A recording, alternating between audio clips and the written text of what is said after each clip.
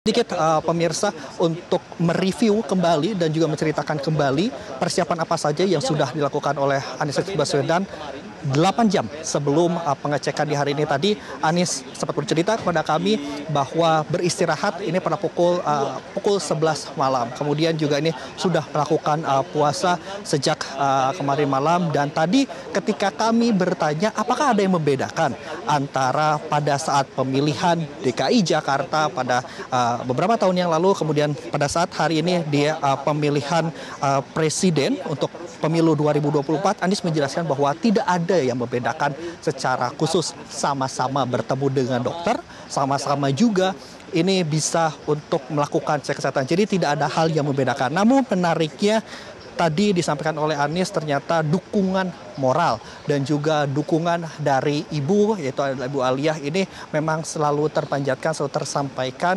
sehingga memang dalam setiap rangkaian uh, Anies Rashid Baswedan di setiap kegiatan ini doa memang selalu disampaikan. Dan kemudian tadi juga ada beberapa hal yang uh, disampaikan oleh uh, Anies Baswedan terutama terkait dengan uh, persiapan di hari ini dan Pesa, memang saat ini uh, kami melihat ini persiapan sudah mulai dilakukan. Nanti kami akan uh, bersiap terlebih dahulu terkait dengan uh, mobilisasi uh, Anies untuk menuju ke RSPAD Gatot Subroto dengan menggunakan minivan uh, berwarna hitam yang nanti juga akan membawa kami para awak media yang ikut bersama ikut gabung juga. Karena memang ini adalah uh, momen kedekatan Anies dengan kami juga uh, para uh, awak media yang ada. Seperti ini uh, Reza dan juga pemirsa di sini uh.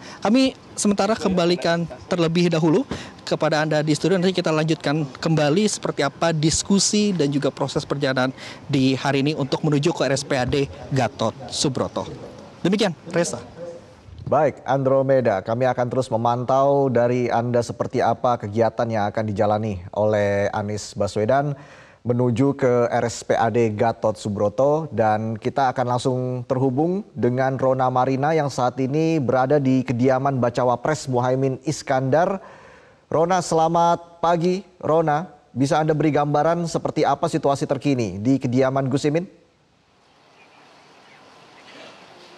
Iya, baik selamat pagi Reza. Memang betul sekali hari ini adalah hari pemeriksaan tes kesehatan bagi pasangan Amin. Yang di mana posisi kami saat ini sudah berada di kediaman dari bakal calon wakil presiden 2024 Muhaimin Iskandar atau Gus Imin. Dan dapat kami gambarkan saat ini suasana yang ada di kediaman Gus Imin. Ini kami masih menunggu terkait dengan Gus Imin akan berangkat sekitar pukul 6.15 waktu Indonesia Barat dari yang sudah dijadwalkan.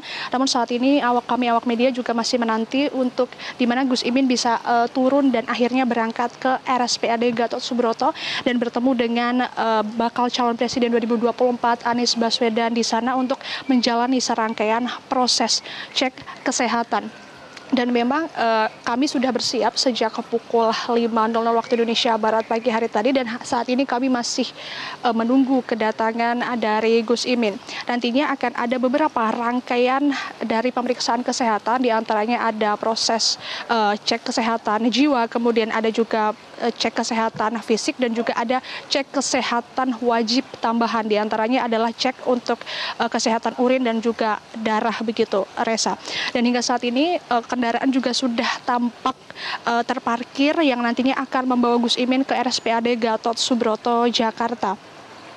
Dan hingga saat ini juga tim keamanan dan kami awak media masih tetap menunggu kedatangan dari Gus Imin untuk turun karena nantinya akan segera berangkat di jadwal 6.15 waktu Indonesia Barat. Namun hingga saat ini kami masih menantikan karena tadi Gus Imin melakukan rangkaian persiapan terlebih dahulu di dalam rumah seperti sholat bersama dengan keluarga secara uh, tertutup yang tadi kami tidak bisa uh, masuk dan juga uh, menginformasikan secara langsung. Namun saat, hingga saat ini Gus Imin juga masih uh, bersiap-siap untuk segera berangkat ke RSPAD Gatot Subroto begitu. Ini juga tampak sekali di layar bahwa sudah ada Wakil Bendahara Umum PKB Bambang Susanto yang sudah menanti untuk nantinya turut mendampingi Gus Imin ke RSPAD Gatot Subroto bersama kami juga dan para awak media begitu.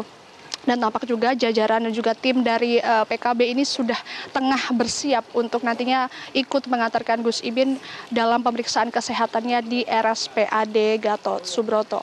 Dan memang jika mengacu Resa dari pemeriksaan uh, kesehatan ini, ini memang sudah ada pedomannya yang sudah dibuat oleh KPU, yakni mengacu pada pasal 227 C uh, Undang-Undang Nomor 7 Tahun 2017 yang mana ini memang syarat wajib bagi bakal calon presiden dan juga bakal calon wakil presiden 2024 yang mana uh, harus memeriksakan kesehatan di rumah sakit yang memang sudah ditunjuk. Dan dalam hal ini rumah sakit yang sudah ditunjuk adalah RSPAD Gatot Subroto. Dan kami mendapatkan informasi bahwa nanti uh, tes kesehatan itu akan berlangsung hingga sore nanti pukul 17.00 waktu Indonesia Barat kurang lebih. Dan ini akan berlangsung kurang lebih sekitar 9 hingga 10 jam yang mana memang tes kesehatan jiwa ini memakan waktu paling banyak yakni 270-an menit sedangkan untuk tes fisik dan juga tes kesehatan tambahan wajib yang lainnya ini berlangsung sekitar 20 sampai 50 menitan saja. Dan memang tes kesehatan ini bertujuan untuk membuktikan bahwa memang calon presiden dan juga calon wakil presiden ini layak untuk memimpin secara jasmani dan juga rohani serta terhindar dari narkotika juga. Dan hingga saat ini kami masih menantikan Reza nantinya Gus Gus Imin akan keluar dari pintu bagian sini begitu. Tepat di, depan layar. Ini nanti terlihat bahwa ini detik-detik Gus Imin akan segera turun untuk menyapa awak media kemudian akan segera berangkat ke RSPAD Gatot Subroto. Begitu. Dan tadi kami juga nantinya akan menanyakan beberapa hal terkait dengan apa saja persiapan yang sudah dilakukan Gus Imin, kemudian apa saja pantangan-pantangan yang mungkin tidak diperbolehkan untuk dilakukan karena e, menjelang hari ini untuk pemeriksaan kesehatan. Karena menurut informasi yang kami dapatkan kemarin bahwa e, ini adalah dua hari setelah pendaftaran bakal calon presiden dan juga bakal calon wakil presiden di KPU RI. Kemudian kemarin satu hari setelahnya itu uh, pasangan calon uh, Anies Baswedan dan juga Muhaimin Iskandar ini keduanya beristirahat total dari informasi yang kami dapatkan begitu. Dan hingga saat ini kami masih menantikan bersama-sama untuk nantinya kami berangkat bersama-sama ke RSPAD Gatot Subroto Desa. Demikian sementara Desa yang dapat kami laporkan. Kembali ke Anda di studio.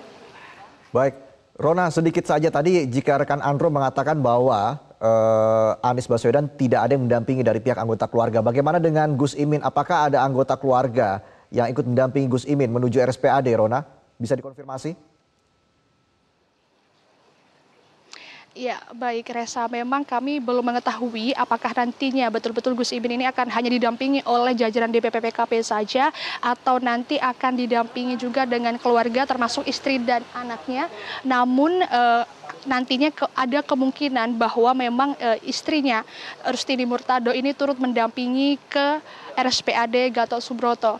Dan ini dapat dikonfirmasi bahwa ini Gus Imin sudah akan turun, Reza, sudah akan menyapa kami. Begitu ini detik-detik menjelang e, beliau turun. Dan nantinya kami akan langsung mengkonfirmasi apakah Gus Imin juga akan didampingi oleh keluarganya untuk ke RSPAD Gatot Subroto. Ini saat ini jajaran dari DPP PKB dan juga timnya tengah menyapa.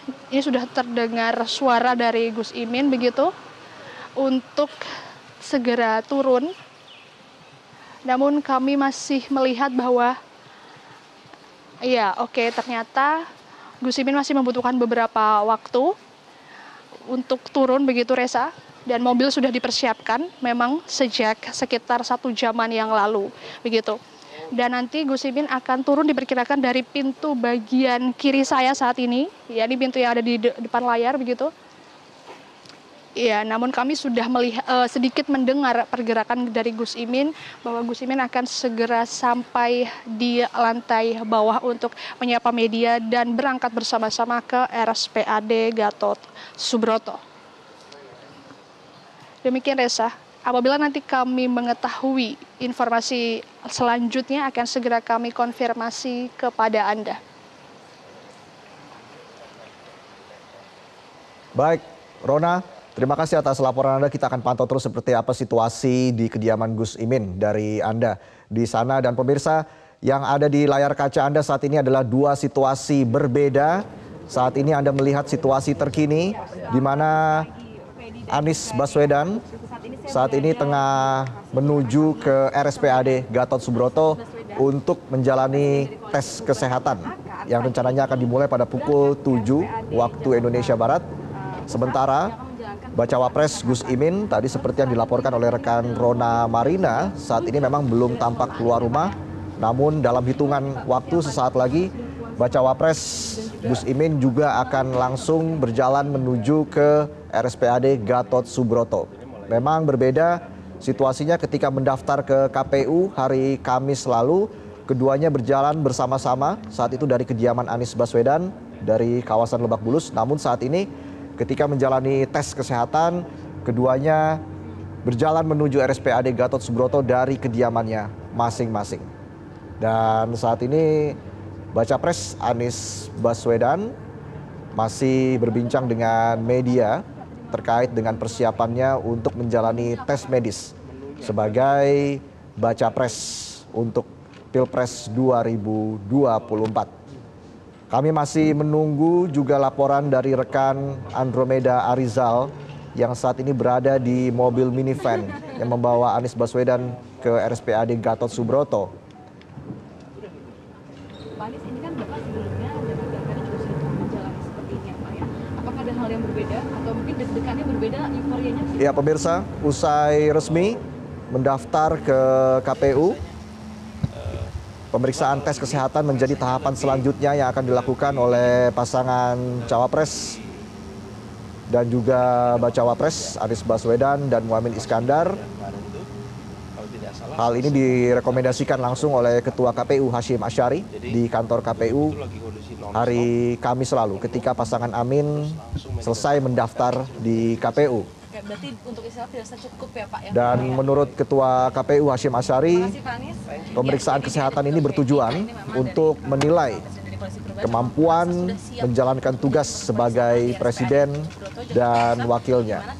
Pemeriksaan akan dilakukan oleh tim dokter yang ya, sudah dirancang dari RSPAD Gatot Subroto. Di mana memang uh, pemeriksaan ini menurut dari KPU adalah salah satu persyaratan. Sebelum Berangkat menuju RSPAD Gatot Subroto, tadi rekan Andromeda sempat mewawancarai Anies Baswedan. Menurut Anies, tidak ada persiapan khusus. Jelajahi cara baru mendapatkan informasi. Download Metro TV Extend sekarang.